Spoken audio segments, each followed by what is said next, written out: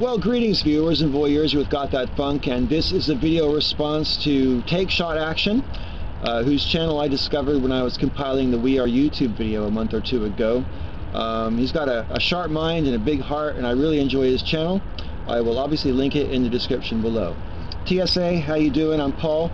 Um, as you know, we were talking the other day in your video comments, uh, the video was called Life and Death, and we're talking about whether or not free will is an illusion and the character limit and so forth uh, kind of inhibited me from making the point the way I wanted to make it. So I thought I would make you this video response. And um, you know I don't necessarily expect to change your mind here uh, but I do you know I think you're pretty bright. And I want to give you a few things to consider that you probably well you don't seem to have really thought through yet. And like I say if you don't change your mind it's no harm no foul to me because you know each to their own. But I just wanted to sort of give you some stuff to roll around in the old noggin and uh, see where it takes you. Now, human beings obviously are intelligent animals, and I think you and I would both agree that all animals uh, have instinct, and uh, instinct tends to cause animals to behave in a particular way uh, regardless of any thought process. Um, you know, like for example, if I hit my finger with a hammer when I'm building something, I'm going to say ouch. It won't be something I think about, it's just going to happen. Um, you know, and let's talk about a, a, a, nice easy example here. If I've got a wasp crawling around on my windowsill, I'm not the kind of person who will smash it with a rolled up newspaper or something or try to kill the wasp. I'm the kind of guy who will trap the wasp under a glass and slide a piece of paper under it and carry him outside and throw him out the window. That's just me. But what if I wasn't quite that clever but I still wanted to get rid of the wasp and I just sort of took the wasp between two fingers and I wanted to throw him out with my bare hand. What do you think is going to happen? Exactly. The wasp is going to fucking sting me. And he's going to sting me because that's his instinct. He perceives a threat and he's going to lash out in the only way he knows how and he's going to sting me. Now, human beings being intelligent animals, um, we don't necessarily lash out for no apparent reason. And it's not no apparent reason. The wasp perceives an existential threat, and I think most human beings, if they perceive that their life is un under threat, will probably be more inclined to behave in an aggressive way, just like the wasp did. It's an instinct, survival. But what about small infractions when your existence isn't in jeopardy? We do have uh, uh, this feeling that we can choose our behavior because unlike the wasp, we can see that there are alternatives to stinging. Um, for example, let's say someone steps on my foot. Now I can respond to that in any number of different ways, and each possible response can have any number of different factors which cause me to choose that response. For example, I suppose the most passive thing I could do if someone stepped on my foot would be to apologize to them because I was obviously in their way because they stepped on my foot. Even though that's not true. But believe me, people do apologize for other people stepping on them all the time. It happens to me in this country. I live in the UK.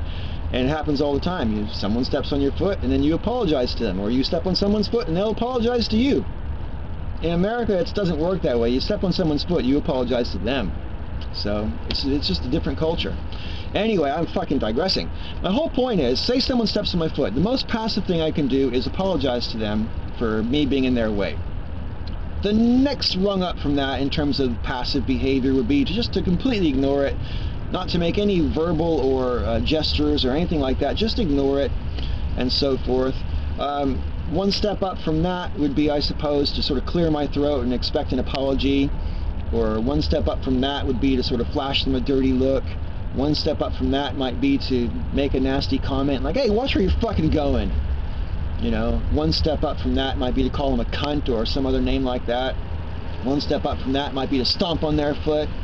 One step up from that might be to threaten them with violence. And one step up from that might be to kill them, I suppose.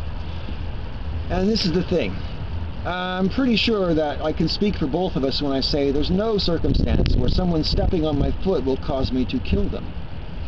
But it is a possible response. Just like that wasp, it's a possible response. To behave in the most extreme way is possible.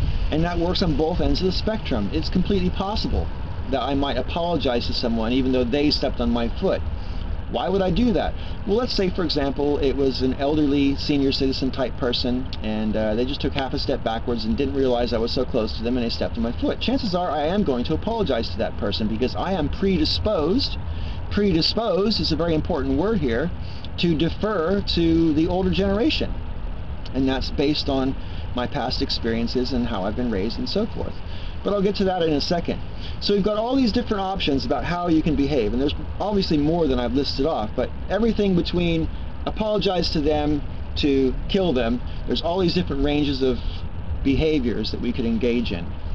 And which one we choose isn't dependent on our freedom of choice. It isn't dependent on our free will. It will be determined by other factors. For example, what kind of mood am I in? Am I in a good mood or a bad mood?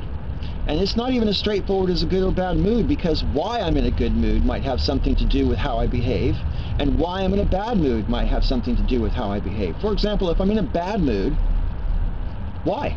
Am I in a bad mood because I just woke up on the wrong side of the bed? Am I in a bad mood because I didn't get enough sleep or um, my dinner's not settling with me properly? Am I in a bad mood because 20 people have already fucking stepped on my foot today and this is the 21st motherfucker? You know, why am I in a bad mood? Why I'm in a bad mood will definitely factor into how I behave. And if I'm in a bad mood, I'm more likely to behave closer to the middle of the spectrum than on the passive end. That's just a fact. People who are in a bad mood, angry or upset or whatever, are more likely to behave in an assertive manner. That's just a fact. Um, whether I'm in a good mood or not also would be a factor, you know. Why am I in a good mood? Am I in a good mood because I just woke up that way? Am I in a good mood because it's a sunny day? Did I just get paid? Did I just get laid? Why am I in a good mood? You know, why I'm in a good mood will be a factor as well.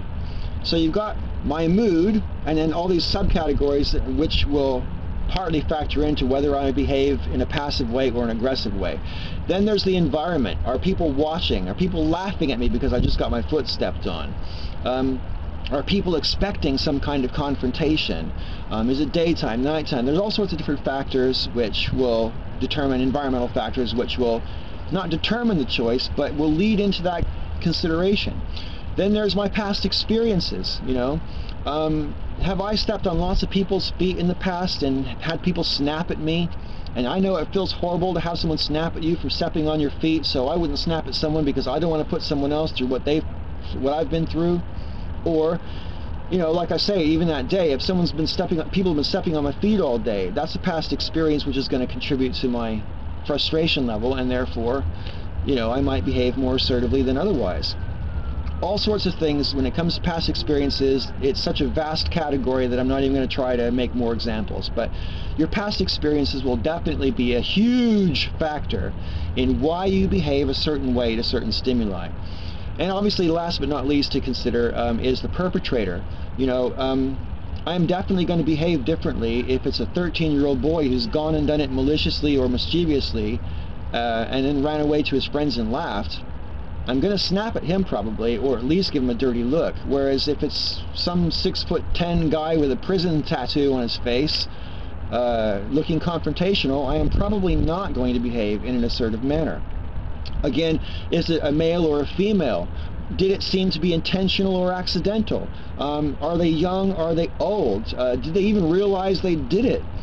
All these kinds of things and more about the perpetrator will factor into how I come to my conclusion and make my decision, make my choice. But it's not really a choice because there's no way that I'm going to mouth off at six foot ten Bubba. No way. I don't like confrontation. I've never been in a fight, and certainly someone stepping on my foot is not worth getting my ass kicked over. So it's just not going to happen. His size has made my decision for me, not my free will. Her sex, the fact that she's a woman means I'm definitely not going to lash out at her. I probably won't even give her a dirty look because I am predisposed to want women to like me. You know what I mean? So we all have these sorts of predispositions. And it's the predisposition which is making the choice for you, not your freedom of will. You might have this illusion of having free will because the more things you have to consider when making a choice, even if you make that choice in a split second, um, the more considerations there were to making the choice, the more you feel like you've made a free choice. When in fact it's the opposite. You're just like the wasp. You're behaving according to your nature, and your nature is built up on how you perceive and deal with all these different sort of factors which are surrounding you and within the experience of having someone step on your foot. Okay? And um, as regards free will, I'm going to just go off on another little tangent here. Um, you know, you're in charge of your own mind, right? That is basically what free will implies. But can you decide not to love your parents anymore, or your siblings, or your children? Can you just decide not to? Just decide? Can you decide not to love your girlfriend anymore when you loved her yesterday? Just like that. Can you decide not to uh, say ouch when you strike yourself with a hammer? You have to think about it beforehand in order to make that decision. Right? It's just going to happen otherwise. Um, TSA, I know you've suffered from depression in the past. Can you just decide not to be depressed? Isn't depression a state of mind? Um, you know, so it's not as straightforward as it sounds. You know, free will is a very nice concept, and we have no alternative really but to take responsibility for the choices that we make because we do have the sensation that we are making our choices freely. And with that sensation of free agency comes the responsibility of taking responsibility for the choices that we make. Even though, without necessarily realizing it, our subconscious is doing most of that decision-making process for us, not our conscious mind. Our conscious mind might refine the, uh, the detail a little bit, but it's not going to determine it for us. Pre-existing factors and extraneous circumstances are what is going to cause us to behave one way or another, not our free will. So I hope that's made the point for you. Um, I want to thank you and everybody else for watching this video. Keep up the good work. Take shot action. I love your channel. And, um, you know, I look forward to a robust discussion in the comment section with anybody who wants to make a, a comment. Thank you very much for watching this video. Until next time, all, may all your ups and downs be ups.